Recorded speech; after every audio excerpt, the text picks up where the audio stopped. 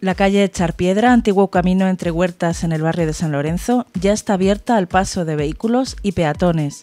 La alcaldesa accidental Claudia de Santos ha recorrido la calle que tendrá un único sentido de circulación desde Cardenal Zúñiga a Los Molinos.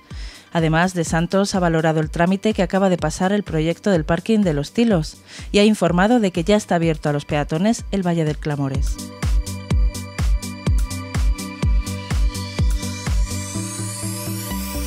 Eh, bien, yo creo que no, no tiene más eh, explicación que la que hay. Es decir, es un trámite administrativo que eh, pasa el plan del proyecto del parking de los tilos y que eso no quiere decir que mañana se vaya a empezar a construir el parking de los tilos, máxime cuando hay un acuerdo que entre el señor alcalde y don Luis Peñalosa que, contempla la no ejecución de esa infraestructura en esta legislatura.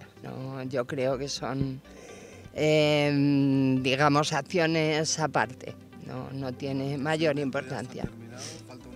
Sí, faltaría un informe en cualquier momento, pero nunca en esta legislatura. Creo que ya está libre, aparte del desprendimiento, eh, se ha hecho eh, como medida de cautela, se ha tirado un trozo de una almena que estaba a punto de desprenderse también, con lo cual ya garantizamos la seguridad de los paseantes por el Valle del Clamores está abierto al paseo, pero de todos modos y como medida extra de seguridad queda señalizada la zona de posible derrumbamiento, pero el paso está libre.